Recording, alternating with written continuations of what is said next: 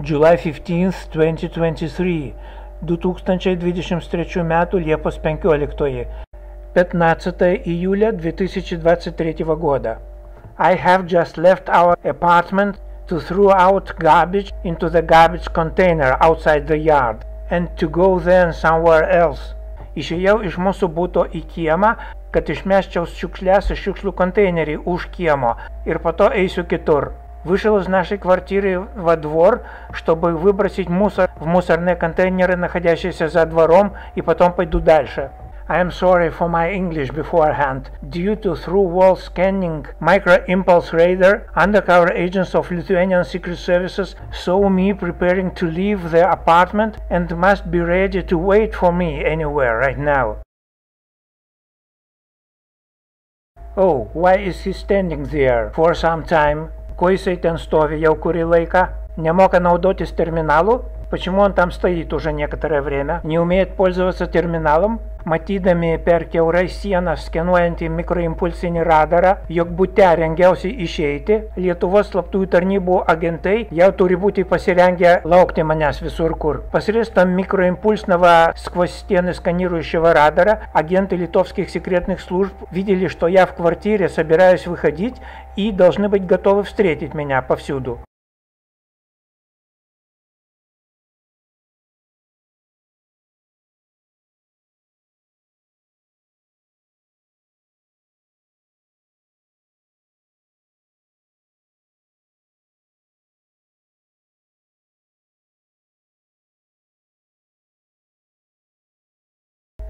What's on the left? Yra kairėje? Что слева? Still standing, he is only pretending to not knowing how to pay. Теbestovi, tik apsimeta nemokас сумокети нева. Все еще стоит, только притворяется, будто не умеет заплатить. Whereas that guy looking at me turns in my direction at a right angle, o tasai vaikinas, pažiūrėjęs į mane, сука į меня стачу кампу, а тот парень, посмотревший на меня, поворачивает ко мне под прямым углом. Whereas everyone turning here from the left passes immediately by the corner of the house, nors kiekvienas pasukantis čionai iš kairės praeina tiesiog pro namo kampą, тогда как любой поворачивающий сюда слева проходит непосредственно около угла дома. He presents himself to me this way. Jis tokiu būdu prisistatė. Он представился мне таким образом. Simply strolling, whereas the first one standing. Vienas просивайкšto, kitas tebestovi. Один прогуливается, другой все еще стоит.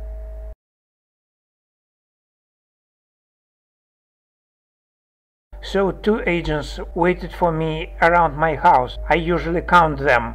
Taigi du agentai laukia manęs aplink namą, paprastai скачиваю юос. Итак, два агента ждали меня вокруг моего дома. Я, как всегда, подсчитываю их. Washington Square, площадь Вашингтона.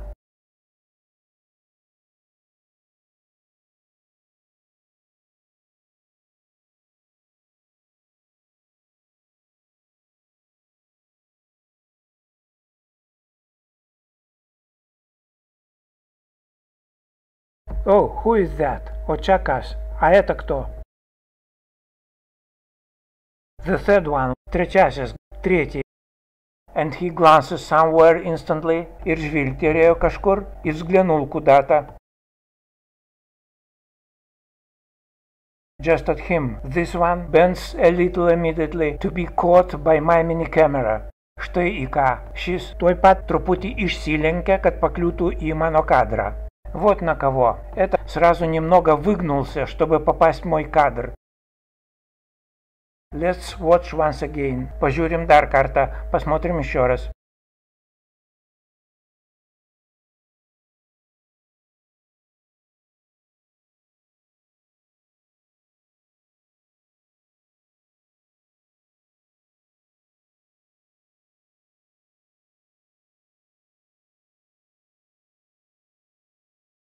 So this one is the fourth. Теги шисера четвертасис. Итак, это четвертый.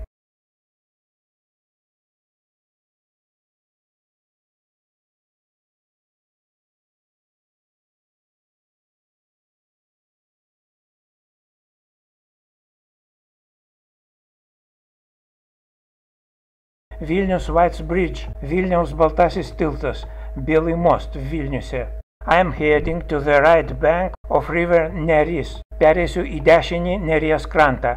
Перейду на правый берег реки Neris.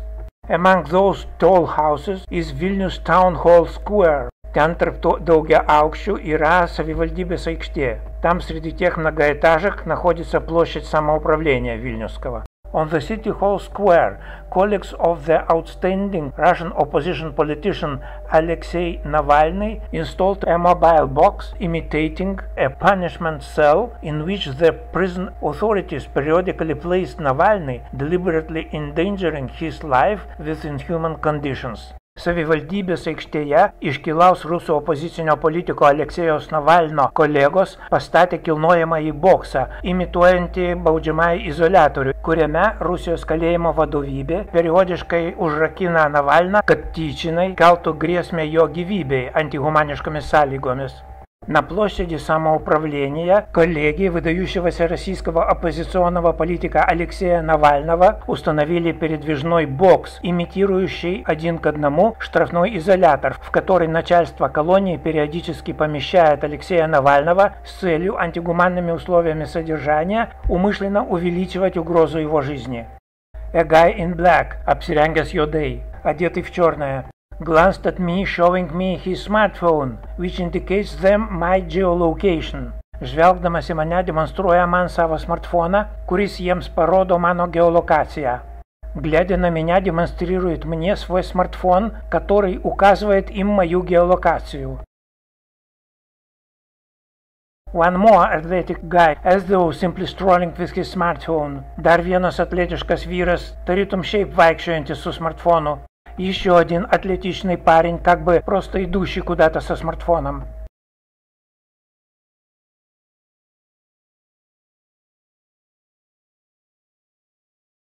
So they were fifth and sixth likely disguised policemen. Taigi tai buvo penktasis ir šeštasis, matomai persirengę policininkai. И так это были пятый и шестой, видимо переодетые полицейские. July 7, 2023, night time, someone attempted to set fire to Navalny's box on the square. Einamųjų 2023 m.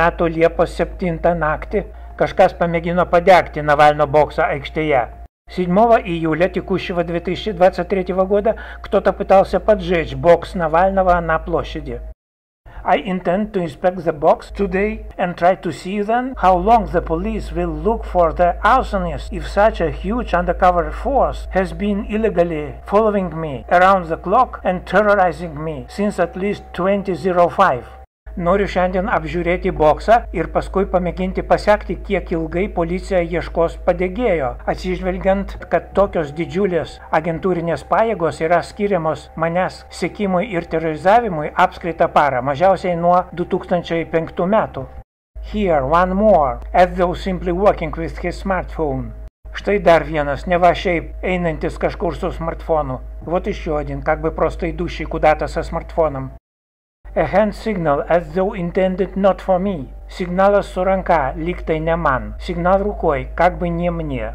He imitates myself because it was just me who about a month ago showed them a similar gesture. I was waiting since, for when will they respond to me similar way?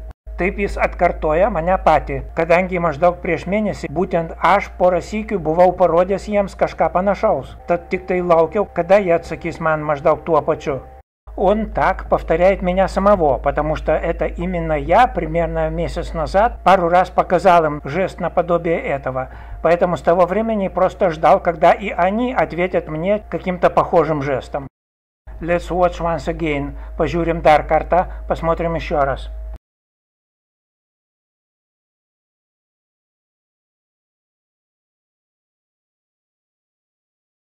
So the seventh. Taigi septintasis. Итак, седьмой. Сегодня я иду осмотреть бокс Навального, чтобы потом попытаться проследить, как долго полиция будет искать поджигателя, учитывая, какие огромные агентурные силы используются для незаконного круглосуточного слежения за мной и терроризирования как минимум с 2005 года. On the path I'm on now, I usually go to the Central Universal Store visible on the right. Šituo keliu kaip dabar aš paprastai vaikštau į центrinę универсальную парduotuvę, матома дешинея. Этим путем, как теперь, я обычно хожу в центральный универсальный магазин, который виден справа. A woman far in front seems ready to collide with me. Мотерис ликтой рengėsi susidurti su manimi. Женщина как бы хочет столкнуться со мной. The eighth, aštuntoji, восьмая. But when I, instead of turning right, am going straight, Tačiau kuomet užuot sukęs į dešinę einu tiesiai, однако если я не поворачиваю направо, а иду прямо, and then upstairs, it means usually that I am heading to the Europharmacy, which is located on the second floor. Ir paskui laiptais aukštyn, tai reiškia, kad einu į euro vaistinę, kuri yra trečiame aukšte. И потом вверх по лестнице, это значит, что я иду в евроаптеку, расположенную на третьем этаже. I don't think the lead operative knows that I'm going to go somewhere else from here. Nemanau, kad vadovaujantis оперативниkas dabar žino, jog iš čia eisiu kur kitur. Не думаю, что руководящий оперативник предполагает, что отсюда пойду куда-то в другое место. That's why I didn't notice the agents when I went to the Navalny's box on the town hall square. Gal dėl to nemačiau agentų, eidamas link savivaldybės aikštės ir Навально боксу яме. Может быть, поэтому я не видел агентов, идя к площади самоуправления и к боксу Навального на ней.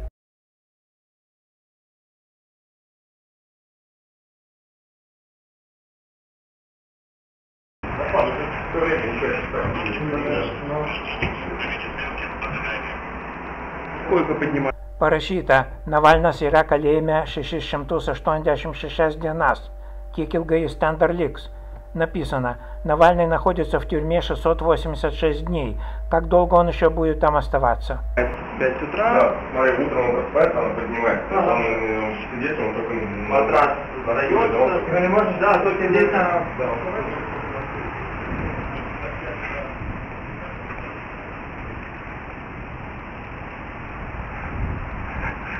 The flame did not ignite. Ugnis neįsiliepsnojo. Plamė nerazgarėlės. The ninth agent visited me just here. I will tell about it a little later at the end of this video. Devintasis agentas aplankė mane būtent čia. Apie tai tuoj pasakysiu šio vaizdo įrašo пабайгоя.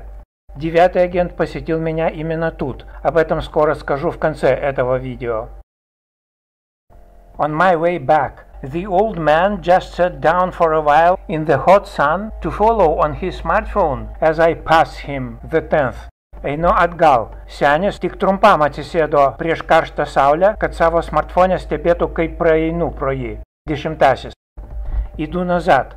Старик только ненадолго явно сел на солнцепеке, чтобы проследить по своему смартфону, как я прохожу мимо него. Десятый. At the Central Universal Store again. Vėl prie centrinės универсальнės parduotuvės. Опять около центрального универсального магазина. A suspicious guy. Įtartinas vaikinas, подозрительный парень.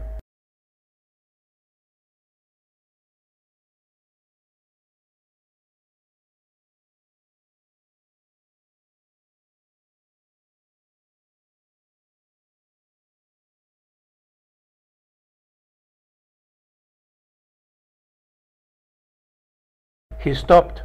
Сустоя, остановился. Looked at me, пожурėjo мane, посмотрел на меня. Eleventh, vienuoliktasis, одиннадцатый.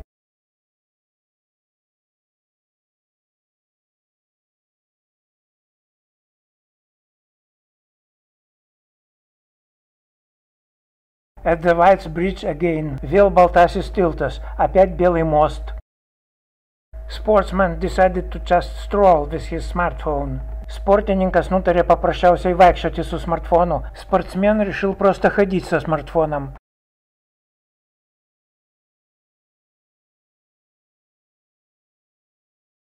Twelfth, двиликтасис, двенадцатый.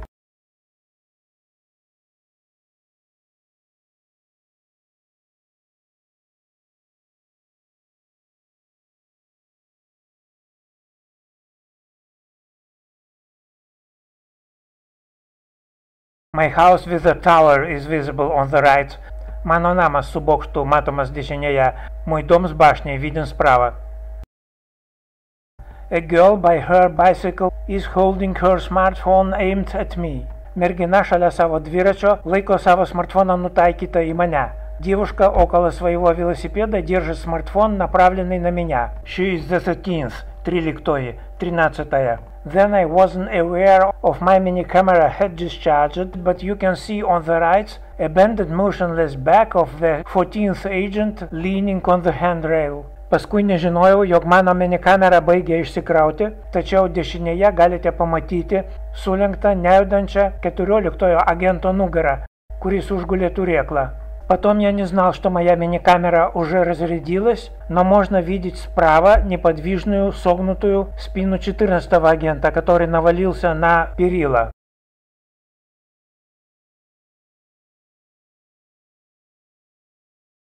While my other mini-camera did not detect agents near my house.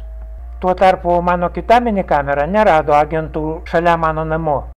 Тогда как моя другая мини-камера не обнаружила агентов около моего дома. Finally, about the agent number 9. When I was talking with the members of Navalny team at the box on the square, some guy, very tall and athletic, came suddenly and greeted team members very friendly as an old acquaintance. He interrupted my talk. He said then that he wanted to observe the box from all sides. Then he, it seems, really did it and approached it again, standing right by me, very tall, being likely ethnic local Russian. Then told them goodbye and when departed, he then nodded to me also, but they did not see it because he nodded me from behind their backs. I am absolutely sure that it was civilly disguised policeman who was sent immediately to present himself to me. When I come to some new place, they try to immediately present themselves to me, either asking me for something or staring at me so that I be aware of they are present everywhere. Now a rhetoric question. If they follow and track me day and night, including in my own apartment, using through the walls micro impulse scanning radar, and all the more when they leave my apartment, as you see in this video. So how could they miss the arsonist so that they, after one week passed from July 7th to July 15th, when they came to the box on the square, they claim that they still don't know who is that. They have only the suspect, who that person might be. There are three versions. First of them, likely it was local Russian fascist that is follower of Putin. Russia is a fascist state, so all patriotic Russians are automatically fascists. I call them fascists.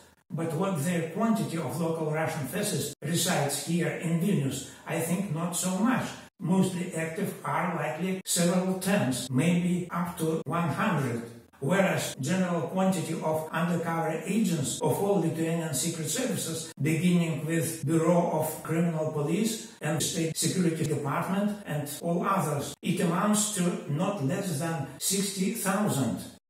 General Vilnius population amounts to more or less 600,000. So the arsenal had to be put under surveillance exactly as me, and he had to be detained immediately after he committed the arson. Even if that person was not so active before, nevertheless he could have been fined within several hours or one day.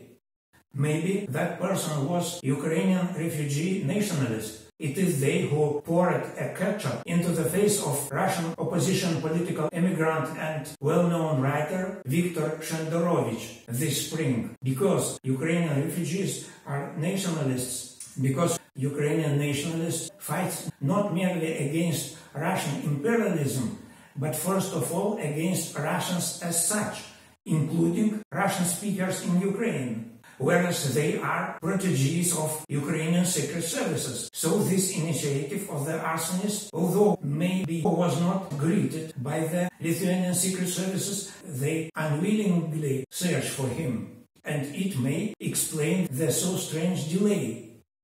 And there is also a third version. That the arsonist might be himself a member of Lithuanian Secret Services who undertook this initiative, because all of them of Lithuanian origin are Russophobes as well. The operatives and undercover agents of non-Lithuanian origin, that is of Russian, Polish, Jew or even Tartar, they serve simply for money, while Lithuanians feel it consciously.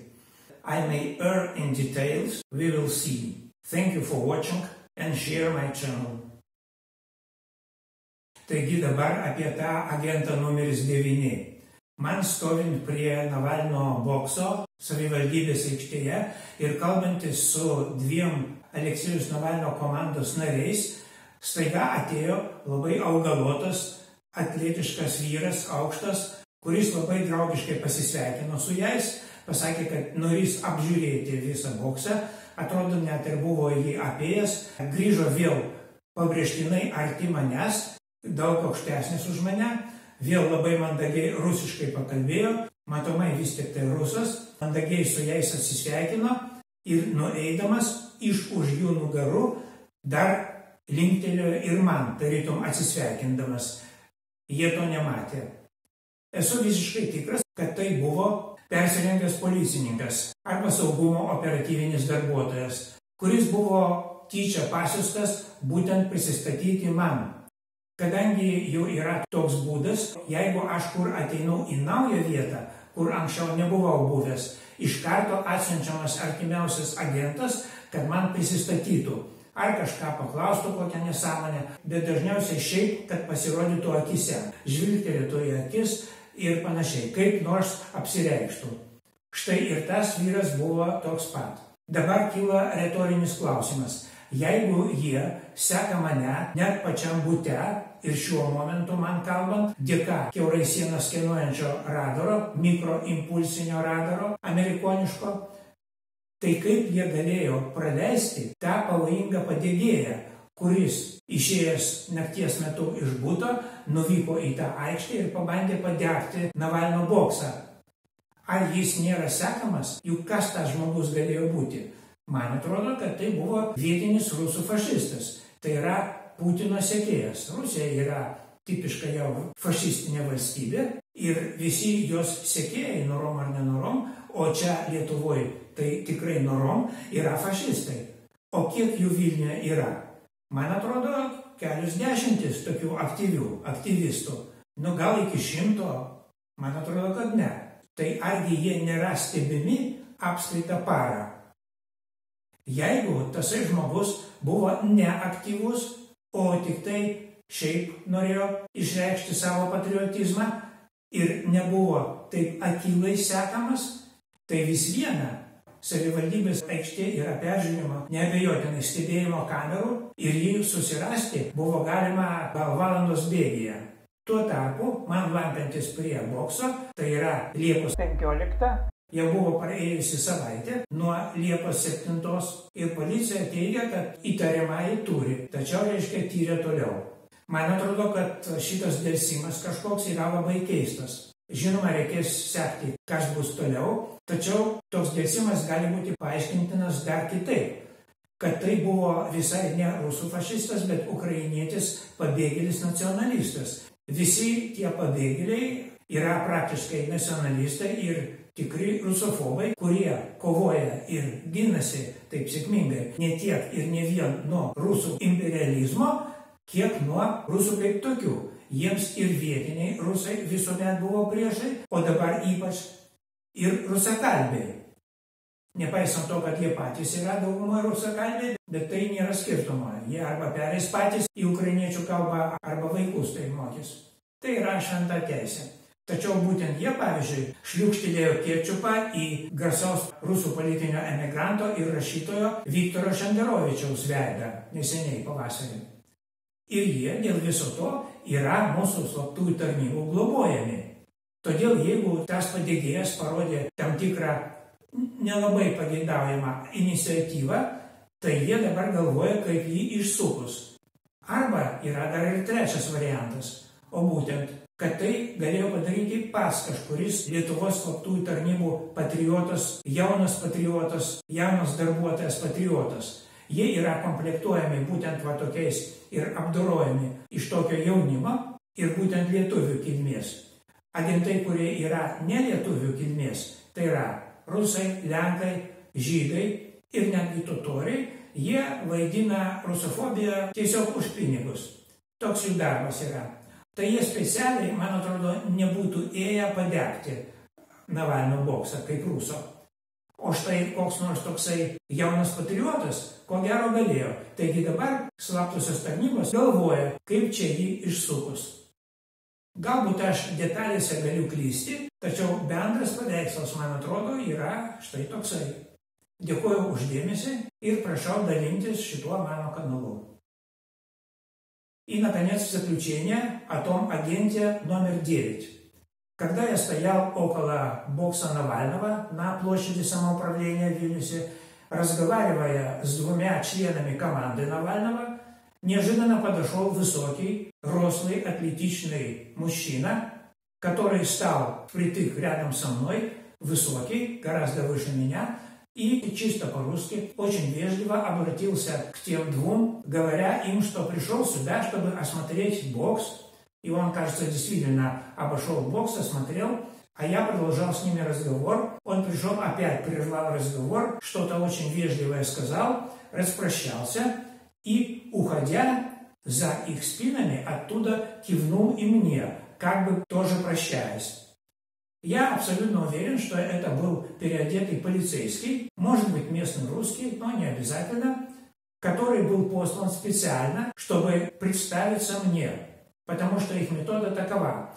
Если я прихожу куда-то в новое место, то немедленно в течение одной-полторы минуты ближайший агент посылается мне представиться. Либо чтобы спросить что-то абсурдное, либо просто посмотреть в глаза, либо вот так мельтешить, помельтешить перед глазами, чтобы я всегда знал, что в любом месте за мной следят, и в любом месте они рядом со мной. Вот и этот человек исполнил такую же функцию. Теперь риторический вопрос.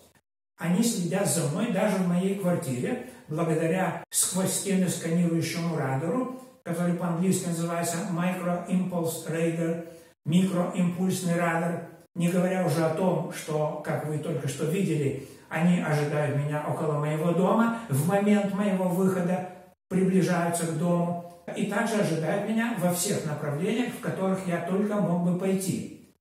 Так каким же образом вот тот поджигатель мог избежать вот такого слежения? Ведь кто он мог быть? Скорее всего, местный русский фашист. Почему фашист? Потому что путинское государство – это уже фашизм, а его последователи, естественно, фашисты. Значит, наверное, они все находятся под наблюдением в течение не менее 30 лет. И вот такие активисты, так же как и я, находятся под наблюдением в собственной квартире посредством такого радара, который установлен где-то в смежной квартире, собственник которой был завербован, является агентом. И тем более ночью, когда он вышел из дома и пошел куда-то, или сел в машину и поехал куда-то. Допустим, что тот активист не был так активен до сих пор и не находился под таким плотным наблюдением. Однако, тем не менее, пустой ночной город хорошо просматривается, площадь самоуправления тоже просматривается, и все равно его должны были задержать в течение тоже ближайшего получаса. И тем не менее, вот когда я был около бокса, 15 июля, со времени того акта прошла неделя, он состоялся 7 июля, и полиция говорит, что у нее только подозреваемый. Однако ей надо продолжать расследование. Такая не очень понятная задержка, по крайней мере мне, может объясняться еще и по-иному. Это в том случае, если эту попытку поджога осуществил беженец из Украины, украинский националист. Украинские националисты, они же вот весной плеснули кетчупом в лицо известному российскому оппозиционному писателю-эмигранту Виктору Шендеровичу. Однако тот человек, который плеснул, он делал это на камеру, ну и, естественно, наверное, его как-то символически наказали.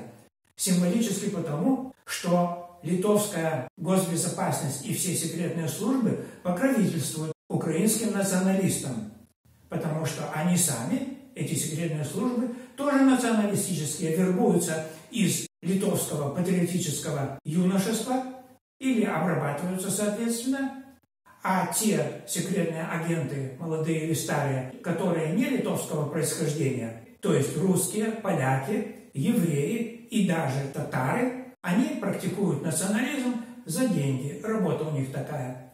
Так вот теперь секретные службы думают, каким образом его покрыть, каким образом его либо не найти, либо если найти, то как-нибудь наказать более или менее символически. Может быть потому и такая задержка.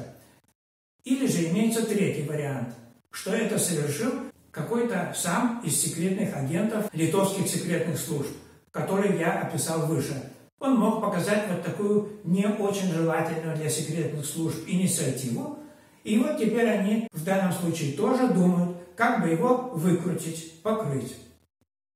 Конечно, я в деталях могу ошибаться, но основная картина, как мне кажется, именно такова. Благодарю за просмотр и прошу делиться этим моим каналом.